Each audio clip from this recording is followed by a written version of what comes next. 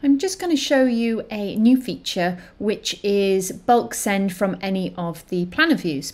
So I'm on the work planner right now, but this is equally available on the job list where you can now multi-select jobs and you'll see a new icon come up in the actions at the top and that's to bulk send.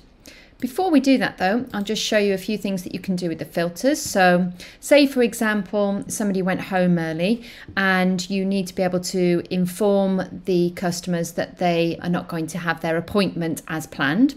So you can filter by a particular user, for example, and then just go for all of the not done jobs for that user, for that worker, and go to the send message you can then send either by email or by SMS.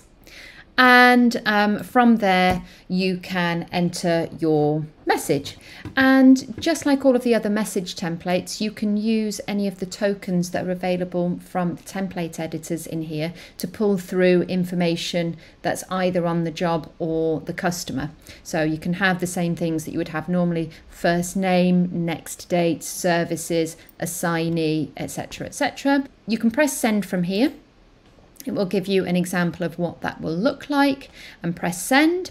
Alternatively, if you don't want to do it manually like that, you can of course go to settings, notifications and messages and the basic email message customer template and SMS message customer template are the ones that come up when you use this bulk send function. So if you've got something that you want to have saved that you use reasonably regularly, say a template for when jobs have been skipped and you can just filter by those skipped jobs then, then you can send them across from there.